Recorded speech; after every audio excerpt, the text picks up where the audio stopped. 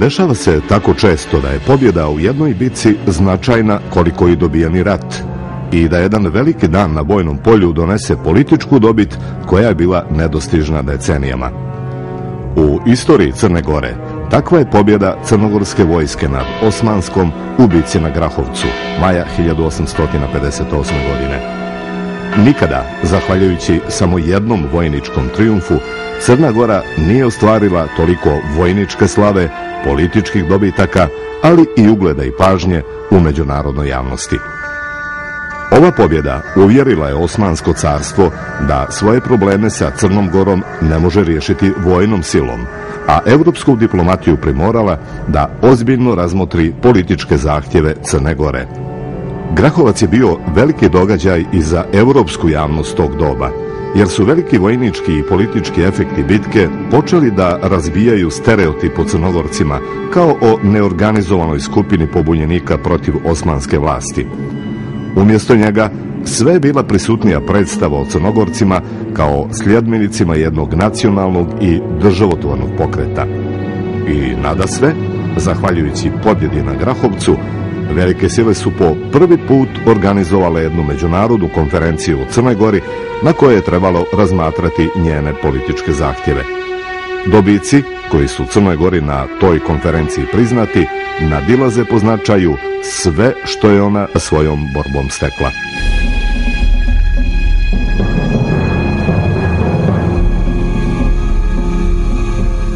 Kao i svi vojnički sukobi, i Grahovac je imao dugu predistoriju, sačinjenu od događaja koji su dvije države neminovno morali dovesti na bojno polje. Kada se početkom 18. vijeka Crna Gora, koju su učinile četiri nahije, oslobodila osmanske vlasti, javila se prirodna težnja za pripajanjem okolnih oblasti, kojoj su je prije osmanske okupacije pripadale. Crna Gora, dakle, nije tražila oblasti Osmanskog carstva, već svoje nekadašnje, koje joj je carstvo oduzelo. Taj proces pripajanja okolnih oblasti počeo je nakon pobjede na Krusima 1796. u vrijeme mitropolita Petra I, kada su u Crnoj Gori pripojeni Bjelopavlići i Piperi, a nastavljen je 1820. godine kada su u njen sastav vraćamenske oblasti, Rovca i Morača. U vrijeme mitropolita Petra II. Petrovića Njegoša, borba za proširenje državne teritorije na takozvane istorijske oblasti nastavlja se u dva glavna pravca, prema Zetskoj ravnici i prema Hercegovini. Ovakva težnja Crne Gore bila je uzrok stalnih sukoba sa Osmanskim carstvom koje je ove oblasti držalo pod okupacijom. Za crnogorske aspiracije prema Hercegovini najvažnije mjesto bilo je Grahovo, koje se nalazilo uz samu granicu sa Crnom Gorom. Po svom geografskom i strateškom položaju ono je bilo kapija kroz koju je Crna Gora najlakše ulazila u Hercegovinu. Zbog takvog značaja Grahova za Crnu Goru, ona je na ovom prostoru od početka 19. vijeka bila prisutna vojnički i politički, što je izazvalo oštre reakcije osmanske države u čijem se sastavu grazilo. Širenje na okolne oblasti, a posebno prema Hercegovini, bio je jedan od najvažnijih zadataka državne politike Crne Gore i u vrijeme knjaza Danila, koji je došao na last 1851. godine. Pored teritorijalnog širenja, knjaz Danilo je pred državnu politiku Crne Gore stavio još jedan veliki cilj, sticanje zvaničnog međunarodnog priznanja. I jedna i druga težnja morale su izazvati protivljenje Osmanskog carstva, koje je Crnogoru smatralo svojom odmetnutom oblašću, a knjaza izazivačem pograničnih nemira. Teritorijalno širenje na okolne oblasti, odnosno njihovo pripajanje Crne Gori, knjaz Danilo je, kao i njegovi prethodnici, smatrao svojim legitimnim pravom govoreći da on nastoji samo da vrati granice koje je crnogorska država imala u vrijeme Crnoje, dakle prije osmanskog osvajanja. Državu Crnojevića knjaz Danilo je zvao djedovinstvom ili Ivan Begovinom, pa se u jednom izvoru navodi da knjaz hoćete, hoće svoju starinu Ivan Begovinu. Prema njegovoj viziji, Ivan Begovina je obuhvatala prostor takozvane stare Crne Gore, četiri nahije, oblasti od Morače do Tare, Zetsku ravnicu sa Žabljakom i Podgoricom, dio Primorja od Bara do Spiča, dio sjeverne Albanije sa Skadrom, Grahovski i Nikšićki kraj, Rudine, Banjane, Drobnjake, Pivu. Pored toga što je smatrao da Crna Gora ima legitimno pravo na ove oblasti, knjaz Danilo je smatrao da ona ima uslove da bude i zvanično međunarodno priznata. U memorandumu predstavnicima velikih sila koji su učestvovali na Parijskom kongresu 1850 knjaz Danilo navodi da za vrijeme od 466 godina crnogorski narod nije bio počinjen nikakvoj sili i nije priznavao nikakvu vlast nad sobom, što bi trebalo da bude dovoljan razlog da Crna Gora bude primjena u skup evropskih država. U ovom memorandumu knjaz je prvi put izložio četiri zahtjeva koji su bili temelj njegovog političkog djelovanja. Crnogorski vladar je od velikih sila tražio da se prizna nezavisnost Crne Gore diplomatskim putem, da se prošire granice Crne Gore prema Hercegovini i Albaniji, da se utvrde granice Crne Gore prema Turskoj na način kako je to urađeno prema Austriji i da se Crnoj Gori ustupi bar primorski grad koji se nalazi na njenoj granici. Upravo ovi zahtjevi Crne Gore, tačnije ovi ciljevi njene državne politike, moraju u vidu ako se hoće odgovoriti na pitanje zbog čega je Crna Gora išla prema Grahovcu ili zbog čega je bilo neminovno da jednom na Grahovac stigne. Da bi ostvario najvažnije ciljeve državne politike Crne Gore, knjaz Danilo je uvidio da je neminovno da borba za njihovo ostvarenje dobije međunarodnu dimenziju. A to znači da u rješavanju crnogorskih zahtjeva treba da učestvuju sve velike sile koje su zainteresovane za Balkan. Valjalo je samo naći način da se ove velike sile na takvo angažovanje primoraju. Knjaz Danilo je smatrao da je to moguće postići samo na jedan način, izazivanjem ustaničkih nemira u Hercegovini. Već poslije prvog pohoda Omer Paše Latasa bile su očite dvije činjerice. Da je državna snaga Crne Gore premala da bi uspješno ratovala sa Osmanskim carstvom i da su velike sile riješene da intervenišu u korist Crne Gore, samo ocijene da crnogorsko-osmanski sukob može imati posljedice koje nadilaze prostor na kome se ratuje. Tada se crnogorskom knjazu pred očima ukazala politička kombinacija koja je obećavala uspjeh. Umjesto trošenja državne snage na sukobe sa Osmanskim carstvom, usmjeriti tu snagu na izazivanje nestabilnosti unutar carstva, i to na prostoru za koji su zainteresovane europske sile. Jedina oblast u crnogorskom okruženju, za koju su velike sile bile posebno zainteresovane i gdje je Crna Gora mogla snažnije politički djelovati, bila je Hercegovina. Crna Gora će, kako je na Cetinju zamišljano, posticati na stabilnost u Hercegovini, a velike sile će, uviđajući snagu crnogorskog uticaja u ovoj oblasti, morati da udovolje zahtjevima Crne Gore ako hoće da ovdje vlada mir. Ovakvom knjaževom rezonu mora se odati priznanje, jer koga bi zanimali podcrnogorski sporovi sa Osmanskim carstvom ukoliko oni nemaju posljedice po stabilnost njegovih najvažnijih oblasti. Sama po sebi, politička i državna moć Crne Gore polovinom 19. vijeka nije bila činilac koji bi pretjerano obavezivao velike sile, ali sada kada je knjaz Danilo svojim političkim uticajem zakoračio u Hercegovinu, stvari su bile drugačije. Da bi se s Cetinja mogli vući konci pobune u Hercegovini, za kratko vrijeme uspostavljen je gotovo apsolutni uticaj Crne Gore na ustaničke vođe i tamošnje pravoslavno stanovništvo. Za Cetinja im je obećana podrška za oslobođenje od osmanske vlasti, a uz podršku hercegovački glavari dobijali su sa Cetinja činove, novac i oružanu pratnju, koja je bila spremna da izvrši svaku knjaževu zapovijest.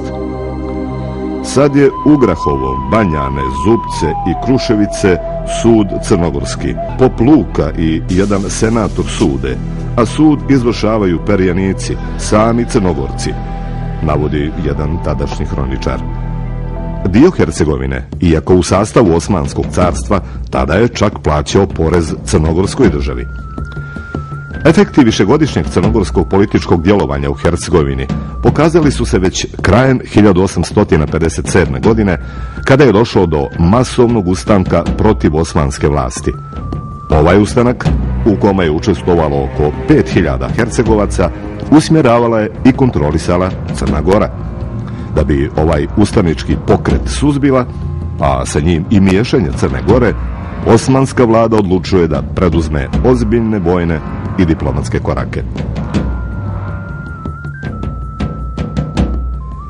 Početkom 1858. godine iz Carigrada je u Hercegovinu upućeno 3.500 pod komandom Kadri Paše.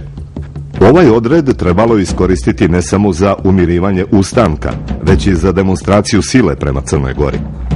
Uporedo sa vojnim snagama, u Hercegovinu je upućen i specijalni emisar osmanske vlade, Kemal Efendija, koji je trebalo da radi na političkom rješenju hercegovačke krize. Znajući da je uticaj Crne Gore u ovoj oblasti velik, Kemal Efendija je pozvao crnogorske predstavnike na sastanak u Mostaru. Na Cetinju je odlučeno da Crnogorno na tom sastanku zastupa knjažev sekretar Henri Delary, francuski državljanin. Na sastanku u Mostaru, Kemal Efendija je zahtijevao da Crna Gora odmah prestane da se na bilo koji način miješa u hercegovačke prilike i da zvanično prizna sultanovu vrhovnu vlast.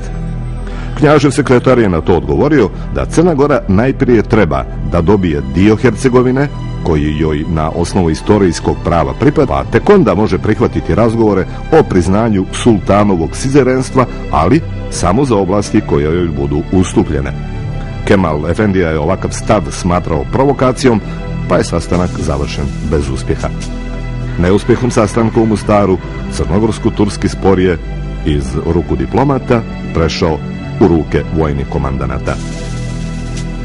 Nakon neuspjeha Kemal Efendijine misije, Porta krajem aprila 1858. godine odlučuje da probleme u Hercegovini riješi vojničkim sredstvima. Husein Paša, komandant turskih trupa u Hercegovini, dobija zadatak da zauzme Grahovac, visoravan koja se nalazi na oko 5 km od Grahova i da Crnogorce koji su bili zaposjeli Grahovo primora na povlačenje. Pokret Husein Pašinih snaga započeo je 6. maja 1858. Vojska Husein Paše imala je oko 7000 ljudi, mada ima tvrdnji da je ukupan broj bio oko 13.000 vojnika. Osmanske snage zauzele su pozicije na visoravni Grahovac, procjenjujući da na tom terenu imaju prednost u odnosu na protivnika. U to vrijeme u Grahovu je bilo oko 500 crnogoraca pod komandom vojvode Petra Filipova Vujovića. Kada su na Cetinju saznali za pokret osmanske vojske prema Grahovu, knjaz Danilo odlučuje da crnogorcima na Grahovu uputi pomoć, smatrajući da ono pripada Crnoj Gori. Odred koji je knjaz uputio na Grahovo imao je oko 5.500 vojnika, a uz njih je bilo i oko 800 pripadnika knjaževe garde. Ukupno je crnogorska vojska imala nešto više od 7000 vojnika, računajući i Hercegovce koji su se priključili. Na čelu svih crnogorskih snaga bio je vojvoda Mirko Petrović Njegoš, knjažev brat. Prema jednom svjedočenju knjaz je svog brata ispratio na Grahovac riječima. Vojvoda Mirko, predajem ti glavnu komandu nad crnogorskom vojskom u odbrani Grahova. Povedi je u ime Božje na bojno polje i lično pokaži kako kuće Petrovića ne štedi svoju krv za krst časni, slobodu i Crnu Goru. Budi neprijatelju strašan kao što si i do sad bio. Pođi u dobri čas. Crnogorska vojska stigla je u Grahovo uveče 10. maja. Dan kasnije crnogorske trupe počele su da zauzimaju položaje oko Grahovca, tačnije da zauzimaju visove koji okružuju ovu visoravan. Orao, Omutić, Zebljak, Babljak, Osječenicu, Bobjer. Do prvih sukoba dolazi već 11. maja, kada crnogorci napadaju na glavninu trupa Husein Paše, koja je koncentrisana na Grahovcu, sa namjerom da ih potisnu prema Klobuku, odnosno tre... Borbe su trajale čitav dan, a vođene su oko Omutića, Osječenice i Zebljaka. Savremenik bitke ostavio je o tome zapis. Rika topova, prasak pušaka, vrisak konja i jauk ranjenih vojnika nebo prolamaše. Boj je trajao cijel dan. Kiša je jednako pljuštala, a vojnici vas dan niti su što jeli, niti pili. Strašan je bio taj dan. Tek je mrkla noć boj prekinula, ostavši obje vojske u svojim pozicijama. Od obje vojske tog dana mnogo poginulo, a još više bilo ranjenih. Turaka mrtvijeh i ranjenih malo više od 3000, a Crnogoraca do 1000. Serdar Rade Turov plamenac koji je u vrijeme bitke bio uz knjaza na Cetinju tvrdi da su tog dana izašli ispred Vlaške crkve da slušaju grmljavinu točaka. Sve se jasno čulo kao da boje bijaše u Čekliće, kaže Serdar Rade plamenac. Prvi dan bitke pokazao je Husein Paši da pred sobom ima ozbiljnog protivnika i da će imati dosta muke da ostvari zadatak sa kojim je došao na Grahovac. Zbog toga je narednog dana, 12. maja, zatražio od Vojvode Mirka osmodnevno primjerje, nadajući se da će u međuvremenu ojačati svoje snage novim trupama. Vojvoda Mirko je prihvatio molbu Husein Paše i poslao mu, kao pregovarača, knjaževog sekretara Delarija. Znajući da Husein Paša i ne razmišlja o primirju, već da ovo vrijeme želi da iskoristi za konsolidaciju svojih snaga, Vojvoda Mirko odlučuje da 12. maja povuče taktički potez koji će se pokazati presudnim za uspjeh crnogorskog oružja na Grahovcu. Koristeći vrijeme primirja, on naređuje Vojvodi Petru Bujoviću da sa jednim zaposjedne putni pravac koji predstavlja jedinu vezu između Husein Pašine vojske na Grahovcu i Hercegovine, odnosno utvrđenog Klobuka. Za posjedanjem ovog prostora osmanske trupe našle su se u okruženju. Već 12. maja uveče Husein Paša je shvatio da se nalazi u klopci. I umjesto da organizuje odbranu u ovoj situaciji, on povlači potez zbog kojeg će izgubiti bitku. Naređuje hitno povlačenje z Grahovca u pravcu Klobuka. Husein Paša je računao da će naglim pokretom iznenaditi Crnogorce i uspjeti da se izvuče iz obruča. Do pokreta osmanskih snaga dolazi u ranim jutarnjim časovima 13. maja. Njihov pokušaj proboja odmah je primijećen, jer je pravac kojim se osmanska vojska povlačila bio zaposjednut od strane Crnogoraca. Time je otpočela odlučujuća bitka. Našavši se na udaru Crnogora, jedan dio osmanskih snaga pružao je žestok otpor, dok se veći dio panično povlačio. Prema jednom izvještaju, u toj opštoj panici, ni redovna turska vojska ne htje slušati ni pašu ni komandu, nego okrene bježati, a ni sama ne zna kud bježi. Navodi se i da je, samo zahvaljujući gustoj magli, Husein Paša uspio pobjeći s manjim brojem vojnika. Triumf crnogorske vojske bio je potpun.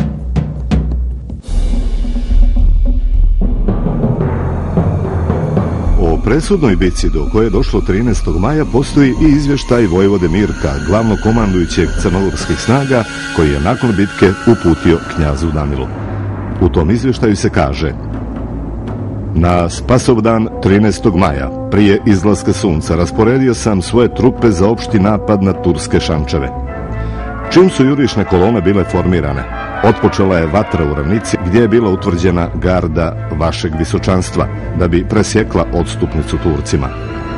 Prethodnica lijevo krila napade neprijateljske rovove i zauze ih, dok su trupe desnog krila gonile mačevima neprijatelja koji je bježao. Udarali smo po neprijateljima kao po kladama. Bojno polje izgleda kao posječena šuma, a gomile turskih leševa strašno je vidjeti. Osmanski poraz bio je strahovit. Navodi se da je poginulo i ranjeno nekoliko hiljada turskih vojnika, mada je tačan broj teško utvrditi. Austrijski konzul u Mostaru navodi da su Osmanije izgubile oko 2500 vojnika, dok ruski konzul navodi nesumnjivo pretjeranu brojku od 5000 poginulih i ranjenih vojnika. Među poginulima bio je i Kadri Paša. Crnogorska strana priznala je gubitak od 200 poginulih i 300, iako ih je zasigurno bilo i više. Postoji podatak da je poginulih i ranjenih crnogoraca bilo oko 2000. Vijest o pobjedi na Grahovcu došla je na Cetinje nakon bitke u petak 14. maja. Vojvoda Mirko poslao je još iste noći dvojicu glasonoša knjazu.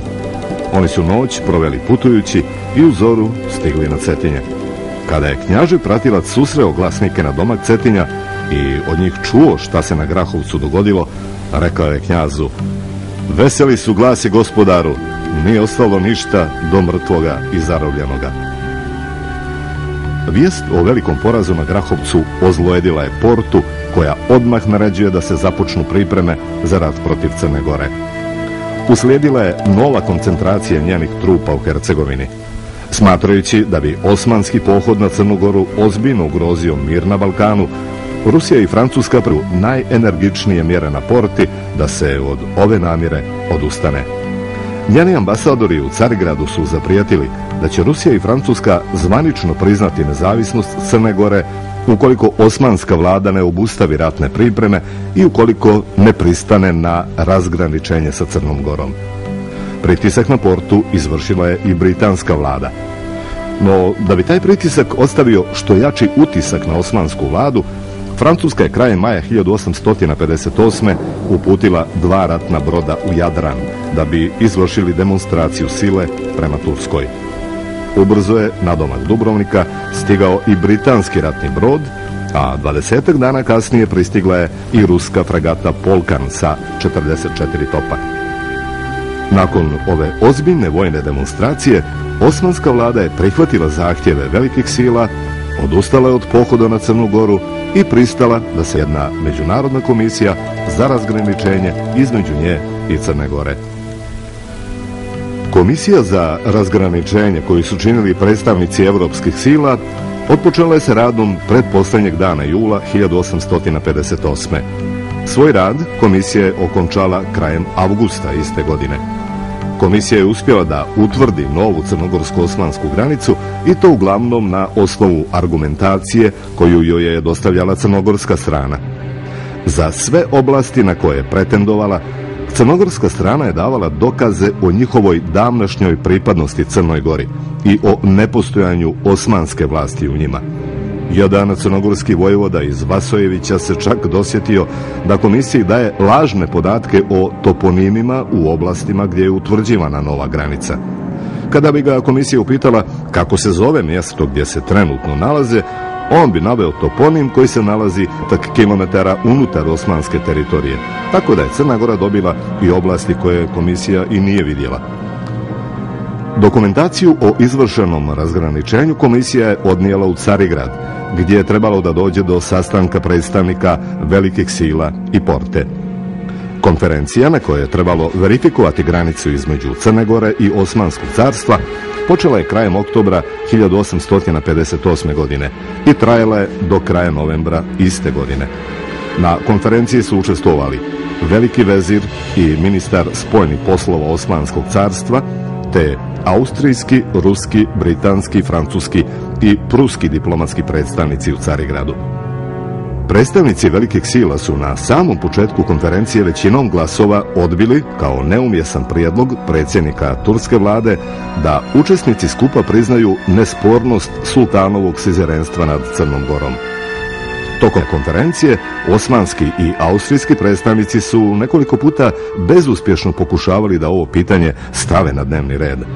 Sa druge strane, ruski i francuski predstavnici najenergičnije su se zalagali da se međunarodni subjektivitet Crne Gore smatra nespornim, dok su ostali učesnici konferencije zagovarali stanovište da se to osjetljivo pitanje ne pokreće, već da se prvenstveno raspravlja o crnogorsko-osmanskom razgraničenju. Na kraju su se sa ovim stavom saglasili i predstavnici Rusije i Francuske, pa se na svih pet sjednica konferencije uglavnom raspravljalo o novoj graničnoj liniji. Na konferenciji predstavnika velikih sila u Carigradu definitivno je utvrđena nova, međunarodno priznata granična linija između Crne Gore i Osmanskog carstva. Time su dvije zemlje napokon dobile jasno utvrđene i diplomatski varianice s tim što su učesnici Carigradske konferencije posebno vodili računa da utvrđivanje međunarodno priznate granice Crne Gore ni na koji način ne asocira na zvanično međunarodno priznanje njene državne nezavisnosti. Ipak, bez obzira na to, diplomatska verifikacija granice Crne Gore prema Osmanskoj caravini predstavlja značajan korak naprijed u njenoj borbi za sticanje međunarodnog priznanja. Tim činom ona je nesumnjivo dobila mnogo povoljniju državnu i međunarodnu poziciju, iako je od svog glavnog cilja, zvaničnog međunarodnog priznanja, bila još daleko. O značaju konferencije u Carigradu za Crnu Goru tačno je zapažanje grofa Valevskog francuskog ministra spojnih poslova. Debata je završena u korist Crne Gore. Ova zemlja stvarno dobila je potpuno nov položaj. Njene granice koje su do sad bile neodre počivaju od sada na zakonskoj osnovi, a sama njena egzistencija nalazi se u neku ruku pod zajedničkom garancijom velikih sila, što je za nju od najvećeg značaja. Za Crnu Goru Carigradska konferencija je bila značajna i zbog toga što je po prvi put priznato njeno državno pravo na okolne oblasti. Time su proglašene legitimnim ne samo njene pređašnje, već i sve buduće teritorijalne aspiracije. Nakon ove odluke više ni jedna velika sila nije mogla osporavati teritorijalne zahtjeve Crne Gore principom nepovedivosti državne teritorije Osmanskog carstva.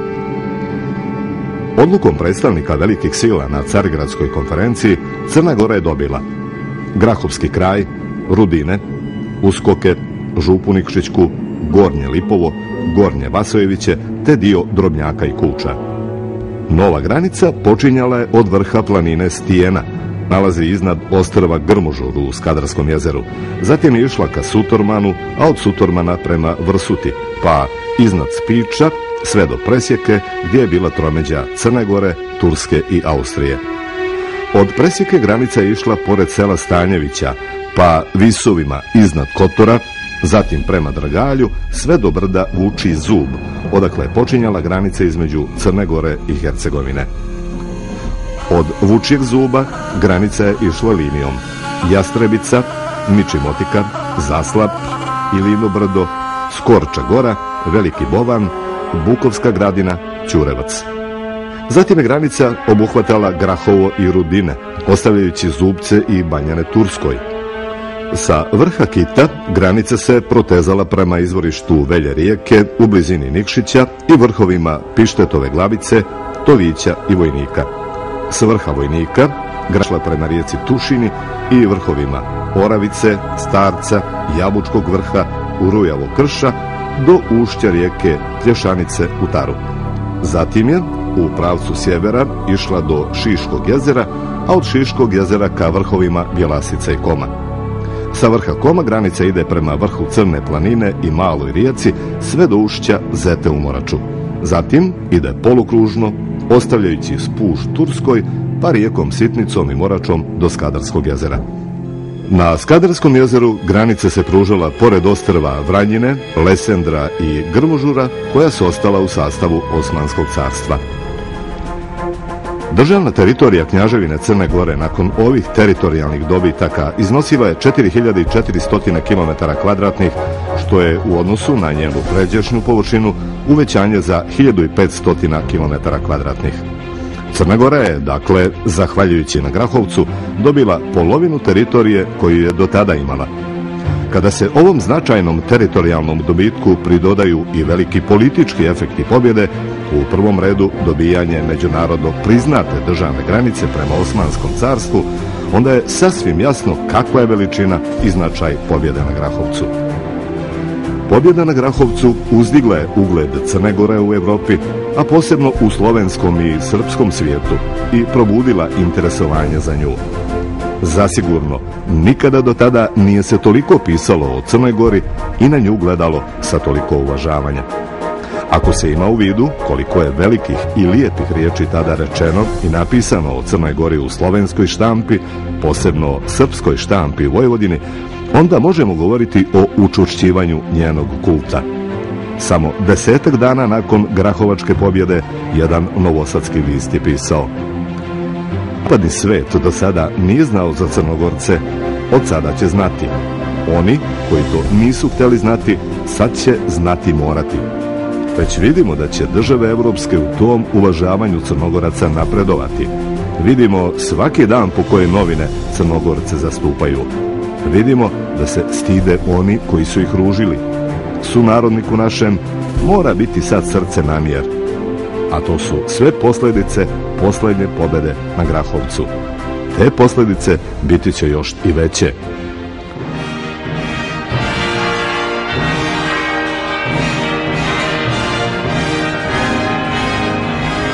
Napokon pobjeda na Grahovcu, pobjeda je Danilove Crne Gore, institucionalno uređene, politički jedinstvene i odlučne.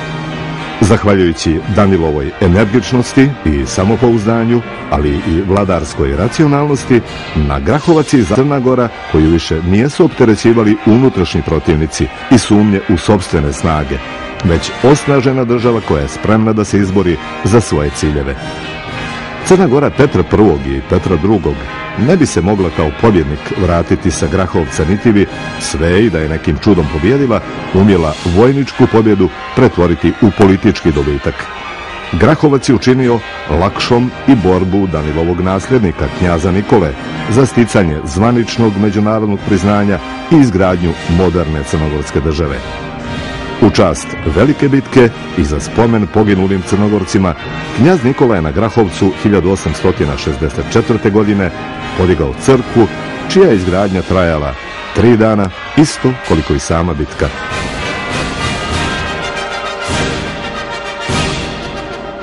Dvanest godina kasnije knjaz će se Grahovca krenuti na Vučido da okornu veliku državotvornu epohu.